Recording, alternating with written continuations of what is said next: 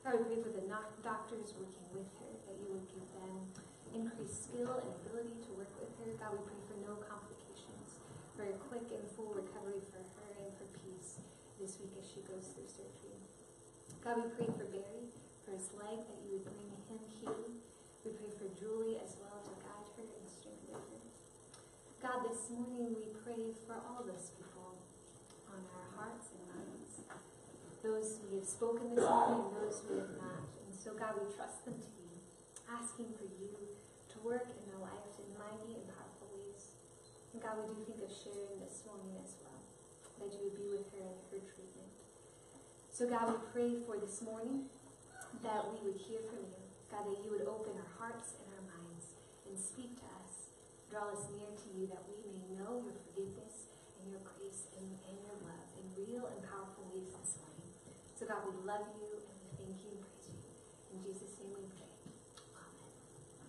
Amen.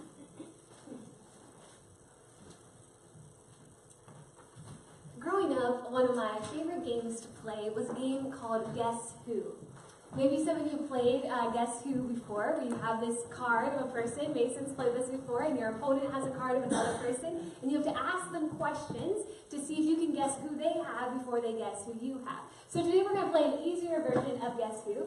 I have up here on the screen uh, a picture of several different people. And so um, I just want you to shout out who's up on the screen. So go ahead and just shout out. Who do you see up on the screen? LeBron James. Albert Einstein. Albert Einstein. Mother Teresa. Martin Luther King Jr. Microsoft. Microsoft. Who's founded Microsoft? Anyone know? Bill Gates. Are we missing one? Did you guys get the musician? Be- exactly Beethoven, but that, I'll take Mozart. That's, that works too. So, great. So we have these famous people up here on the screen. Um, now, who can tell me what these people are known for? Like, why are they so famous? Why do all, almost all of us know who they are? So let's start with like, oh, did someone shout it out? Mason, go for it. What did you say? Albert Einstein. Well, why is he famous? What's he known for? Or he was just a really smart guy, right? Like he was really great with math and science. Yeah, really smart. Okay, what else? What about like LeBron James and Babe Ruth? What are they famous for? Sports, right? Great athletic ability. Uh, what about Beethoven? Music. Music, right? Um, what about Bill Gates? Technology. Yeah, good. Uh, yes. You, yeah. What was he famous, Barry? He famous down in Washington D.C. For the great speech, speech mm-hmm. orator, great leader of the civil rights movement, right? Mother Teresa. Yeah, great humanitarian, great compassion. So all of these people are extremely talented, right? We know them because of their talents, whether that's intellect or sports or compassion, extremely talented. So this morning I want to tell you, church, that you are also extremely talented. Now you might be thinking, like Hannah, like I'm not nearly as talented as like LeBron James or Albert Einstein. But before you start comparing comparing your talents, I want you to know that you are talented. Every single one of us is talented. Now we have different talents, right? Our talents might not be like LeBron James or Bill Gates, but every single one of us is talented. So I want you to think about just for a moment, what are your talents? What are you good at? By talent, I simply just mean this special ability to do something well. All of us have talents, right? Whether it's working with our hands, like we're good at building things or fixing things or crocheting, or we're good at baking or cooking or raising children or teaching children, good with numbers. There's so many different things that we're good at, that we're talented about. So I want you to think about your talents. What are you good at? But I also this morning want you to think about what is your superpower?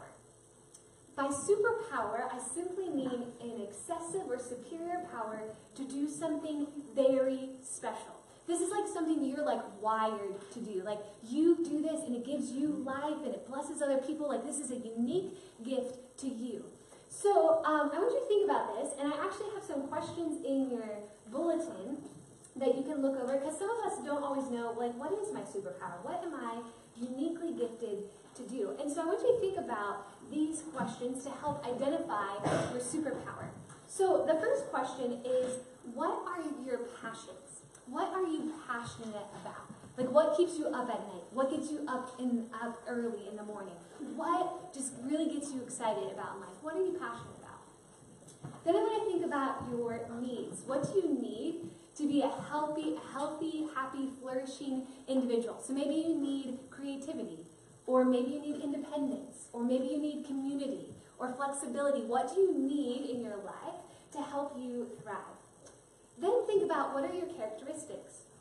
How would you describe yourself? How do other people describe you? What kind of person are you? Are you kind, smart, funny? What are some of the characteristics in your life? Then think about what are your longings. If you could wave a magic wand over your life and the world and everything would become perfect, what would you long to see? What are some of your deep longings that you would like to see in your life and in the world? Then I want you to think about your achievements. What are some things you've already accomplished in life? And sometimes what we've already achieved in life can give us insight into our superpower, this power that we have to do something exceedingly well. So it's my hope that you'll think about those questions, perhaps this morning or the, this week ahead, to think about your superpower. Maybe for some of you, you are a nurturing leader, or maybe you are a generous baker, or you are an inspirational innovator. I'm not sure what your gifts are, but I want you to think about what's your unique superpower this week. So as you're thinking about your superpower, I want to tell you a story. It's a story that Jesus told in Matthew 25. And uh, I'm going to tell it with a little modern twist this morning, so it's probably going to sound familiar but a little different. And so I'm going to tell you this story because it helps answer two questions. The first is, what, where do our talents come from? That's the first question. So listen to the answer to that question as I tell this story. The second is, what are we to do with the talents that we have? So as I tell this story, I want you to listen to the answers for those two questions. There once was a CEO of a company who was going away on a journey. The CEO called his three employees together and decided to give them shares of the company. To one employee, the CEO gave shares worth $5 million. To the second employee, he gave shares worth $2 million. And to the last employee, a share worth a million dollars. Then the CEO left and went on his journey. As soon as the CEO left, the employee who received shares worth $5 million immediately went to work and started expanding the company, started investing and trading, and over time, what was worth $5 million was now worth $10 million. The second employee did the same thing. What was once worth $2 million, he was able to work and invest and multiply that to get it to become $4 million. The last employee, though, on the other hand, decided to cash out his money, went home, dug a hole in his backyard, and put the million dollars in the hole in his backyard. The CEO, after a long time, eventually came back from his journey. So he called together those three employees to ask what they had done while he was away on his journey. The first employee stepped forward and said, Hey, boss, you know that share of $5 million you gave me? I worked really hard and I multiplied it into $10 million. And the CEO was really happy about that. the second employee who received the share worth $2 million said he did the same thing and turned it into $4 million. And the CEO was very happy about that and promoted both of those two employees to take over even more ownership and share in the company. But the employee who had just hid the million dollars in his backyard came to the boss and handed him a dirty, muddy pile of a million dollars and confessed to the boss that he hadn't done anything with what the boss had given him. And the CEO was not very happy with this last employee, fired him on the spot, and took that pile of muddy million dollars and gave it to the employee who had made $10 million and decided that would be how the company. I told you this story this morning because this is a modern telling of what we often refer to as the parable of the talents. Talents is simply a word for a large amount of money. It was like the biggest um, numeral, numeral value of money at the time of Jesus. And so that's why I use such large quantities of money when telling the story. It was meant to be a large sum of money, but when it got translated into English, we refer to talents not just as money, but all that we have, right? Our gifts and our resources and abilities. And I think it's appropriate to view the parable in this light. In this parable, in this story, Jesus is the CEO, and we are the employees. And I think this story answers these questions that it tells us where do our gifts come from? Well, our gifts come from God. That God gives us our talents. God gives us everything that we have, all that we are, all that we have, our financial resources, our gifts, our talents, abilities, all that comes from God. What that means is that your talents and gifts, they don't come just from your DNA or from your family or from your life experience or from your training or from happenstance and, and fate. Your talents come from God. They're uniquely gifted and given to you. So if our talents come from God, then what are we to do with the talents that we have? Well, this story also answers that question. That we are to work to develop our talents.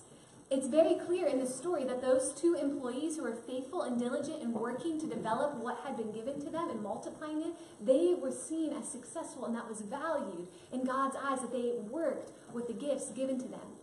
But that one employee who just buried the talents in the dirt in his backyard, God was not happy with that person. I think this says to us that we are to work hard to develop the talents and gifts God has given us. God desires that for us. Not to be lazy and just to bury our talents, but to work to develop them. So what does this look like? So maybe you're talented at athletics, and so you should work and train to develop that gift as best as you can. Or maybe you're good with music, and so you should practice and sing and, and perform and play instruments and work at that as best as you can to develop that. Maybe you're good at teaching, and so you work to develop that, or with numbers, or leadership, or cooking, or baking, crocheting, whatever it is that you work and develop that talent that you have to the best of your ability. I think that's what God desires for us. But here's my next question for us. Well, let me read this quote first to you. This is a quote I loved about developing our talents by a nun named Joan Chittister, who actually lives in Erie, Pennsylvania. So I want to read this quote to you. To deny the abilities I've been given, thought, insight, wisdom, analysis, understanding, explanation, persuasion, is a virtual sin against creation. It degrades the virtue of humility to a kind of debased self-knowledge. It withholds from the human community the very gifts I have been freely given for its good. Having gifts is nothing if we don't use them. Let me say that one more time. Having gifts is nothing if we don't use them. To praise the Creator for seeding the universe with them is bogus if we ourselves fail to use them to their.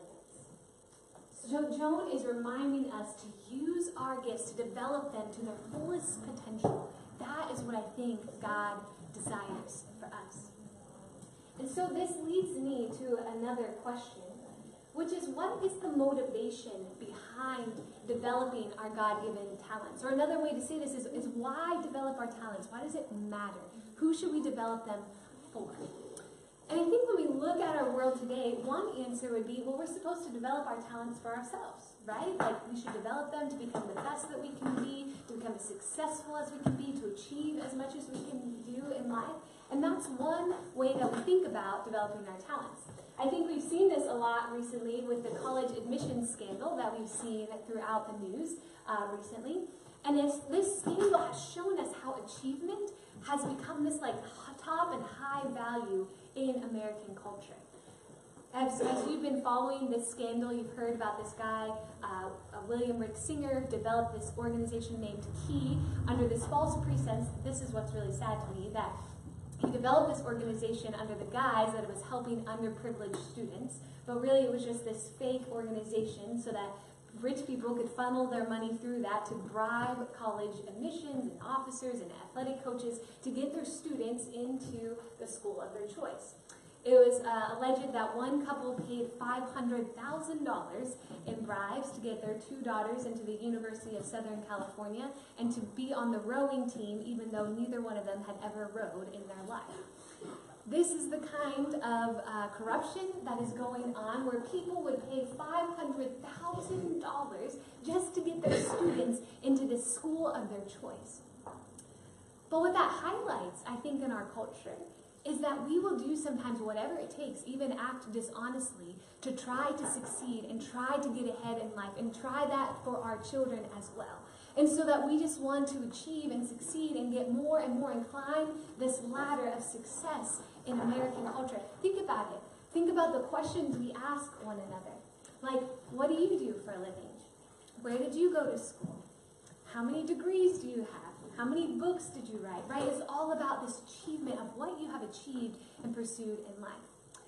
And let me say this morning if you're here this morning and you haven't decided to follow Jesus, then you are free to keep pursuing that path of achievement. That is the way of our American culture to to try to strive for more and more. And if that's what you seek, then you are free to do that.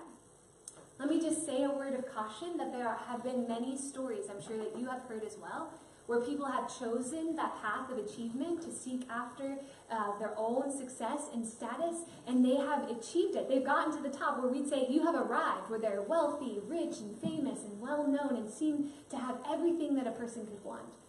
But we hear these stories that even when they get to that top of the achievement ladder, they feel unfulfilled and unsatisfied. And some of them even take their own life. And so you're free to choose that path, but let me just caution you that it might not have as glorious of an ending as you might think. But this morning, for those of us who have chosen to follow Jesus, I think we have to take a different path. Jesus tells us this parable of the talents that I told this morning, but right after Jesus tells that story in the Gospel of Matthew, Jesus tells this other story and these other powerful words. If you have your Bibles with you this morning, I invite you to open up to Matthew 25. I'm going to read these powerful words of Jesus. This is Matthew 25, beginning in verse 31. And listen to how these words speak to us about why we should develop our talents. Hear these words Matthew 25, verses 31. When the Son of Man comes in his glory, and all the angels with him, he will sit on the throne of his glory, and all the nations will be gathered before him. And he will separate people one from another, as a shepherd separates the sheep from the goats. And he will put the sheep at his right hand and the goats at the left. Then the king will say to those at his right hand, Come, you that are blessed by my Father, inherit the kingdom prepared for you from the foundation of the world. For I was hungry, and you gave me food. I was thirsty, and you gave me something to drink. I was a stranger, and you welcomed me. I was naked, and you gave me clothing. I was sick, and you took care of me. I was in prison, and you visited me.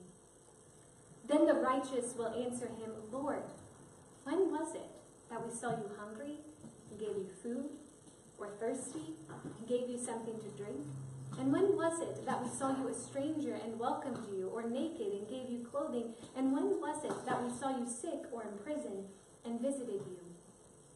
And the king will answer them, Truly I tell you, just as you did it to one of the least of these who are members of my family, you did it to me. Then he will say to those at his left hand, That you are accursed, to depart from me into the eternal fire, prepared for the devil and his angels. For I was hungry, and you gave me no food. I was thirsty, and you gave me nothing to drink. I was a stranger, and you did not welcome me. Naked, and you did not give me clothing. Sick and in prison, and you did not visit me. Then they also will answer, Lord, when was it that I saw you hungry, or thirsty, or stranger, or naked, or sick, or in prison, and did not take care of you? Then he will answer them, Truly I tell you, just as you did not do it to one of the least of these, you did not do it to me. And these will go away into eternal punishment, but the righteous into eternal life. These are powerful, difficult words of Jesus that challenge us because sometimes I think we think that all that matters in life is that we believe with Jesus in our minds. That all we have to do is believe that Jesus is the Savior and Lord of our life, and that's all that matters. While that is extremely important, and that is where I believe our Christian journey begins, it cannot stop there. We've talked about this before, but our knowledge of Jesus must move into our hearts to change our lives, and it must flow into our hands for us to be willing to be open to serve others, especially the least of these. What's so powerful to me is that Jesus tells us your gifts come from God and God expects you to work and develop them. And then, right after telling us that story, Jesus says you're to serve the least of these. Why does God give you your gifts? Why does God want you to develop them? Not for yourself and not for your own achievement and not for climbing the ladder of success in our American culture. God has given you talents to develop, to serve, and to bless. God has given you your gifts that you can be a blessing to other people, especially the least of these. And what does that look like? It doesn't have to be these big, grandiose things. We don't all have to be like Mother Teresa. We're not all called to be like Mother Teresa. Notice the examples that Jesus gives. They're pretty simple examples, right? Like feeding somebody who's hungry, or giving somebody who's thirsty a drink, or visiting somebody who's sick or in prison. These are fairly simple things that every single one of us can do. And so, if you're good at cooking or baking, work and develop that gift so that you can feed people who are hungry. If you're good at knitting or sewing or crocheting, work at that skill so that you can clothe those who need it. If you're good at leadership, develop that gift so that you can lead a nonprofit or teaching so that you can help underprivileged children. Or if you're good with making money or figures, do that so you can give generously. Use whatever gift, whatever superpower you've been given, not for yourself and for your glory, but for building up other people to make their lives just a little bit better. That's, I think, what Jesus desires for us. This can look really simple. I thought of this example of my grandmother, who one of her gifts is she's good at knitting. And to my knowledge, my grandmother has never knit anything for any one of us in the family. We don't really need it, so she's never done that. But she will knit all winter long these little hats for babies in need in her community. That's a simple example where she's using a talent, something she's good at, to the benefit of other people, to bless them. I want to close this morning with one final story.